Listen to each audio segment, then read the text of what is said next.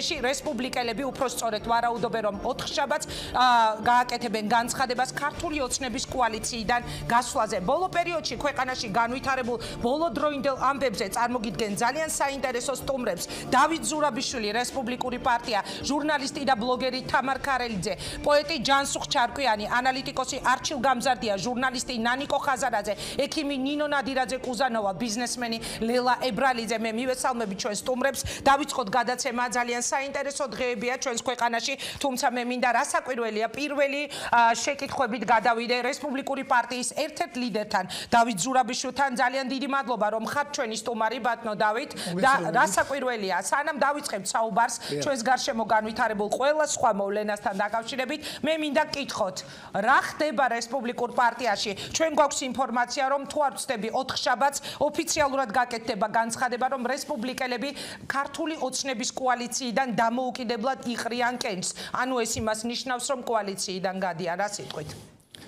მოგახსენებთ, სანამ ესე იგი პასუხებდა თქვენ შეკითხვას, მანამდე მაინც მინდა 2-20 სიტყვით გამოეხმაურო თქვენ საით სანამ ჩავერთვებოდე მანამდე რაზეც იყო ლაპარაკი იმ თემაზე, კერძოდ დეპუტატის, უმრავლესობის დეპუტატის დავით ლურთქიფაინტის განცხადება, ახლა მე მოусვენი არ მქონდა ეს ნანახი რა დატიტული ვიყავი ეს დღეები და ნუ აი ძალიან აღმაშფოთებელია ეს, არ ჯდება ეს არანაირი ეთიკის და ნორმის ფარგლებში და ალბათ თვითონ ხა მე მგონი ძალიან რთულად მოიძებნება ადამიანი ვინც აბსოლუტურად ასე თქვა სამარცხვინო გამოხტომას შეაფასებს სხვანაირად მაგრამ მე მგონი თვითონ პირველ რიგში უმრავლესობის წარმომადგენლებმა მისმა კოლეგებმა ძალიან კაცრად უნდა მოკითხონ მათ პასუხი იმიტომ რომ სირცხვილია როცა საქართველოს აი ასე მოლაპარაკე და ასე აი ჭორიკანა ადამიანი ვით რაღაცა ცუდი გაგებით ჭორიკანა ჭორიკანა საერთოდ ცუდია მაგრამ კიდე ასე ბინძური ჭორიკანა ადამიანების ასპარეზი ხდება საქართველოს პარლამენტი უმაღლესი წარმომადგენლობით ერთ ორგანოებთ, აი პირველად გავიგონე ეს სიტყვები და ნუ აი მიჭირს კიდეც ლაპარაკი იმდენად ვარ აღშფოთებული. მეც გეთანხმებით, ჩემთვისაც იყო ეს ყველაფერი წარმოუდგენელი, რომ როდესმე ამას მოვისმენდი პარლამენტის დეპუტატისგან და სწორედ ესაა ის თემები, ბატონო დავით, რაზე ჩვენ ალბათ დღეს უნდა ვისაუბროთ და მე არ ვიცი და მეთანხმებით თუ არა, მაგრამ გავრცელებული ინფორმაცია რესპუბლიკური პარტიის შესახებ, რომ სავარაუდოდ რესპუბლიკელები არჩევნებში ცალკე გავლენ ეს კორექტული ფორმულირება მეჩვენება, უხ უხეშად ან ჟურნალისტურად ვიტყოდი რომ კოალიციიდან გავლენ, არ ვიცი ამას დაადასტურებთ არა, მაგრამ მე მეჩვენება რომ სწორედ ამ ტიპის განცხადებებით დაიწყო მთელი ის კამპანია, რომელიც დაიწყო თქვენი პარტიის წინააღმდეგ. ჩვენ გვახსოვს ყველას გოგი თოფაძის განცხადებები პროკურატურაში აღძრული საქმეთა ავდაჩის მინისტრის წინააღმდეგ, შემდეგ მუხარების შანტაჟი და ასე შემდეგ. მე მგონია რომ რესპუბლიკელებისთვის ეს აღმოჩნდა ბოლო წვეთი, რა სიტყვით? მე ვერაფერს ვერ ვიტყვი ამჯერ ზოგადად გარდა იმისა, რაც უკვე ითქვა ჩვენი პარტიის თავმჯდომარის მხრიდან, იყო თავმჯდომარის მიერ გაკეთებული განცხადება, რომ ჩატარდა ამშაბათ კვირას ეროვნული კომიტეტის ხდობა, იქ მიღებული იქნა პარტიის გადაწყვეტილება არჩევნებში მონაწილეობის ფორმის შესახებ და ეს გადაწყვეტილება გამოცხადება უახლოეს დღეებში. მე არა ვარ უფლებამოსილი თქვა მეტი, სხვა რაიმე თქვა ამ თემაზე. უახლოეს დღეებში აუცილებლად გაკეთდება ეს განცხადება და მე შემეძლება უფრო დეტალურად და ასე ვთქვათ საერთოდ ვისაუბრო ამ თემებზე. გასაკვირველია, მე არც მაქვს იმის ილუზია, რომ თქვენ პარტიის ოფიციალურ განცხადებამდე რაიმე შეიძლება გამოგტყუოთ, არ ხართ თქვენის რესპონდენტი, ვისაც რაიმეს მე პირადად დავტყუებდი, ალბათ გამომივიდოდა, მაგრამ ერთი რამ უნდა გკითხოთ, ანუ ხმები უსაფუძვლო არ იყო, რომ რესპუბლიკელები არჩევნებზე ცალკე გავიდოდნენ. ხო, ერაფერს ვერ გეტყვით გარდა იმისა, რაც უკვე ნათქვამია. კარგით. კარგით, ბატონო დავით, ჩვენ ყველა ინდაველოდებით ამ განცხადებას ჩვენი ინფორმაციით კიდევ ერთხელ ვეთქვი მაყურებელს, ეს განცხადება სავარაუდოდ 4 შაბათს გაკეთდება პარლამენტის პლენარულ სხდომაზე. მე მინდა თქვენ დაგისვათ კითხვა, აი წეღან პრინციპში უკვე დაიწყეთ ამაზე საუბარი. რა ხდება ჩვენს ქვეყანაში? მე მაინტერესებს თქვენი პოზიცია იმ ყველაფერთან დაკავშირებით, რითიც ჩვენი ქვეყანა ცხოვრობს. ხანდახან ვფიქრობ ხოლმე, რომ რაღაც კინოს ვუყურებთ. თქო, იმიტომ რომ წარმოუდგენელია ეს ყველაფერი ხდებოდეს ასე ჩვენს გარშემო ქვეყანა ცხოვრობს ფარული კადრების შანტაჟითა და მუხარით და დაანონსებულია რომ გაგრძელდება ეს ყველაფერი. თქვენ რა სიტყვით და ვისი პასუხისმგებლობაა ეს ყველაფერი? ამის თაობაზეც იყო მე მინდა გითხრა ჩვენი პარტიის განცხადება, აქ რა თქმა უნდა, ცალსახად როცა ხდება ასეთი კადრების გამოქვეყნება, როცა ხდება ადამიანების დაშანტაჟება, ასეთი პირად ცხოვრების ამსახველი რაღაც კადრებით, რომელიც გადაღებულია ფარული ჩანაწერი და გადაღებულია თავის დროზე წინა ხელისუფლების რაც იყო გამოქვეყნებული სპეცსამსახურების დროს ნებისმიერ შემთხვევაში არის ამ ხელისუფლების პასუხისგებლობა. სხვანაირად ეს არ შეიძლება ვილაპარაკოთ, იმიტომ რომ ხელისუფლება ის ვინც ფლობს ამ ვისაც ყავს უშიშროება, ვისაც ვინც აებთ ჩასაწერდა რაღაცა ესეთი ტიპის საიდუმლო ჩაწერების განხორციელების უფლებამოსილება, კასეთი რაღაც ჩაწერების განხორციელების უფლება არც ერთ სპეცსამსახურს არ აქვს. თუ ეს არის რაღაცა ვიღაცა აკეთებს და ამას ხელისუფლება ვერ აკონტროლებს, ეს არის ერთი უბედურება და არ შეუძლია მიაკვლიოს ამას და გამოიძიოს ეს ერთი უბედურება, თუ ეს ასე არ არის და თვითონ სახელმწიფო სტრუქტურებიდან არის აქ ვინმე ჩართული. ეს მეორე უბედურება, ნებისმიერ შემთხვევაში ეს აზიანებს ხელისუფლების პრესტიჟს, აზიანებს ქართული სახელმწიფოს პრესტიჟს და ნუ არ ვიცი, არაფერში არ ჯდება ეს ეს თავისთავად მე რა ვიცი ხა არ სოფლიოში ცნობილია არაერთი ფაქტი, როდესაც გადაუღიათ რაღაც ასეთ ფარული ჩანაწერები, მაგრამ ყოველთვის ამას მოყვება ხოლმე ძალიან კაცი რეაქცია ხელისუფლებიდანაც, საზოგადოებიდანაც. ამჯერად ჯერჯერობით ხელისუფლებამ ვერ მიაკვლია, ყოველ შემთხვევაში ვერ გვეუბნება ვერაფერს რა ხდება და ვინ გააკეთა ეს ჩანაწერები, ვინ გაავრცელა და ვინ აკეთებს ამ შანტაჟს, ვინ ეწევა. საზოგადოების რეაქციას რაც შეეხება, ფიქრობ საზოგადოების რეაქცია კაცილებით ადეკვატური იყო. დარწმუნებული ვარ იგივე თქვა და კეთ ბატონი ლორდ კიპანის განცხადების მიმართაც ზედივე ადეკვატური იქნება, იმიტომ რომ საზოგადოებამ ძალიან ცალსახა თქვა. ყოველ შემთხვევაში მისმა უმრავლესმა ნაწილმა, რომ ჩვენ შინაარსი, ვინ არის, ვის ვინ გადაიღეს, რა საკეთებს, ეს არ გვაინტერესებს. ჩვენ ვართ კატეგორიულად წინააღმდეგი რომ ასეთი მეთოდებით ხდებოდეს დაშანტაჟება ადამიანის, ხდებოდეს აი ასეთი მეთოდების გამოყენება პოლიტიკაში. ეს ითქვა აი ძალიან კაფიო და ეს იყო მთავარი აზრი საზოგადოების რეაქციისა.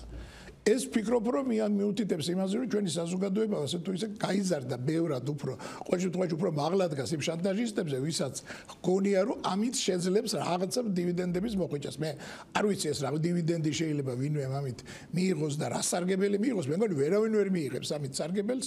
მხოლოდ რა ვიცი ახლა იმ ადამიანს რომელსაც ძალიან ცუდი წარმოდგენა აქვს საზოგადოებაზე და ძალიან ცუდი წარმოდგენა აქვს ჩვენს მოქალაქეებზე შეიძლება იფიქროს რომ აი ამით რაღაცა სარგებელს მიიღოს ბატონო დავით, მე მესმის ძალიან რთულია დღეს აი ამ თემაზე ჩვენ ვისაუბროთ რაიმე ვერსიებზე. მეც კი როგორც დაუშვათ ამ შანტაჟის ერთ-ერთ ობიექტს, ძალიან მიჭირს რომ ხელი დავადო ვინმეს იმის მიუხედავად რომ სულ ქონდა ხო ინფორმაცია მთელი იმ წლების განმავლობაში რომ მიდიოდა გადაღება და მე ვიყავი ადამიანი რომელმაც ღია ეთერში ვთქვი რომ მე მქონდა ეს ინფორმაცია 2012 წლამდეც რომ რაღაც კადრები იყო ჩემი გადაღებული, მაგრამ აი აქედან გამომდინარე, ანუ ვერავისკენ ესე ვერ გავიშვერთ ხელს, მაგრამ რა მაინტერესებს იცით? თქვენ როგორც პოლიტიკოსი როგორც მოქალაქე ფიქრობ თუ არა რომ შეიძლებოდა ეს ვინმე საწყობდა? ერთან მეორე ძალას ან რატომ ამდენი ხნის განმავლობაში? არ გამოდის პროკურატურა და არაკეთებს რაიმე განცხადებას. არიან ამ კვალზე თუ არ არიან? რას ნიშნავს ეს ყველაფერი? და თქვენ როგორ ფიქრობთ ვინ შეიძლება მოიგოს ამითი რომელმა პოლიტიკურმა ძალამ? მე ვერ ხედავ აქ მოგებულ პოლიტიკურ ძალას ამ სიტუაციაში როგორც გითხარით აი ძალიან ძალიან არასწორი წარმოადგენა უნდა კონდეს საზოგადოებას რომ ჩათვალო ამ მეთოდით რამეს მოიგებ. თავის დროს ხა მე ნამდვილად არ მივეკუთვნები იმათრიც ვინც რაღაცა ყველა ყველა შემთხვევაში აპელირებს რაღაც წინა ხელისუფლებაზე რომ აი მაშინ იმ წლების წინ რომ რაღაც ასეთი რაღაც კეთდებოდა ის ხო ცუდი იყო და რაღაც თითქოს ეს რამე დამართლებდა დრევანდელ სიტუაციას. მაგრამ ეს აუცილებლად უნდა ითქვას რომ ეს ჯინი თავის დროზე გამოშვებული იქნა ბოთლიდან ძალიან ცუდად. იმიტომ რომ მასიური ხასიათი ჰქონდა ჩანაწერების გაკეთებას და ვიცით რომ ათასობით ფაილი ინახებოდა. ეს შემდგომში გადმოიცა ამ ხელისუფლებას მაგრამ ამ ხელისუფლების დროს დაიწყო უკვე რაღაცაად გაჟონვა. აი ამ რაღაცა რა გარკვეული კადრების გაჟონვა და ის რომ ხელისუფლებას ძალიან დიდი ზიანი მიადგა ჩემს ხრივ. ფიქრობ რომ ის რომ აქამდე რაც იყო ასეთი ფაქტები, ერთადერთი შემთხვევა იყო, როდესაც გელახვედელიძე შენაგან საქმეთა მინისტრის მოადგილე იქნა გადაყენებული თანამდებობიდან და გასამართლებული, თუმცა საკმაოდ სუბუქსარჯელით, მაგრამ მაინც რაღაც რეაგირება იყო. მას შემდეგ არათუ რეაგირება არ ყოფილა ასეთ განცხადებებზე რომ მას რაღაც ემუქრებოდნენ და შანტაჟებით უკვე ამ ხელისუფლების წარმომადგენლები არათუ ასე არ ყოფილა არამედ ზოგიერთი კადრები თქვა რომელიც ახლა ეხუდა ადამიანის წამებას ან გაუპატიურების ასე თქვა გაუპატიურების მეშვეობით ადამიანების წამებას და შეურაცხყოფას ეს იქნება ნაჩვენები ლამის ოფიციალურად. ეხლა ეს იყო ნუ იმდენად წარმოუდგენელი ამბავი და იმდენად დააზიანა ხელისუფლების პრესტიჟი და ავტორიტეტი რომ ნებისმიერი შემდგომი ასეთი რაღაც გავსირა რო ხდება ხდება გინდა არ გინდა ბრალდება აღრიხომი ხელისუფლების მიმართ. ამიტომ ფიქრობ რომ პროკურატურამ სწორედ საგამოძიებო ორგანოები ვალდებულები არიან უმოკლეს ხანში რაღაცნაირად ეს ამ საქმეს თავი მოაბანდა გამოიძიონ. მესმის რომ რთულია მაგრამ სხვანაირად ეს უკვე აი დამანგრეველი ეფექტია კამას სახელმწიფოსთვის დამანგრეველის გარდა არის ერთი მთავარი კითხვა. წინ გვაქვს არჩევნები რომელიც პრაქტიკულად კარს არის მომდგარი. რესპუბლიკელები მარტო მიიღებენ მონაწილეობას თუ სხვა პარტიები როგორ მიიღებენ ეს რომ გვერდით რომ გადავდოთ. ჩვენ გვექნება თუ ასეთი წინასაარჩევნო კამპანია წავა იმის განცდა რომ არჩევნები ჩატარდა ნორმალურად. აქ ერთი ჟურნალისტის მუხარა მოდით გვერდით გადავდოთ. საუბარი მიდის პოლიტიკური პარტიის ლიდერების დაშანტაჟებაზე. საუბარი მიდის პოლიტიკოსზე. თუ ვინმე შეეცდება რომ ეს გამოიყენოს რაღაც თავის საარჩევნო მიზნებისთვის და რაღაცნაირად ну პრაქტიკულად ეს იქნება ხა რომელიც ძალას ამ ვიდეოების გამოიყენებს ხვის წინააღმდეგ ეს იქნება პრაქტიკულად იმის გამოცხადება რომ მისი გავრცელებულია. ჭები ასე თუ პროკურატურა ვერ იწვის პასუხს ამ და არ ამგონია ეს უკვე სასარგებლო ვინმესთვის საერთოდ მე ვფიქრობ, რომ ეს აი არაფერი შეარჯდება ასევე ასეთი რაღაცეების გავრცელება და ჩვენება. არაფერი შეარჯდება და ეს სხვადასხვის პირველი ყველაზე ასე ვთქვათ, უებარი წამალი ამის არის სწორედ საზოგადოების რეაქცია. როდესაც საზოგადოების რეაქცია ნეგატიურად მიმართულია პირველ რიგში და პირველ ყოვლისა სწორედ გამავრცელებლების წინააღმდეგ და ვინც აი ასეთი მეთოდებს იყენებს.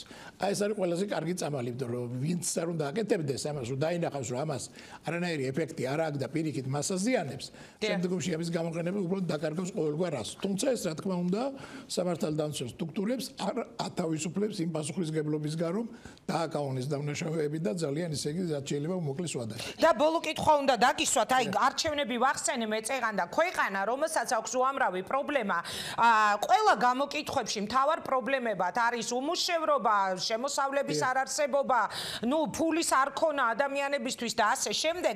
ბოლო პერიოდში ცხოვრობს ფარული კადრები და ერთი ხის ისტორიით. რა ტიპის ქვეყანა მივიღეთ ჩვენ 2012 წლის არჩევნებიდან უკვე დღემდე.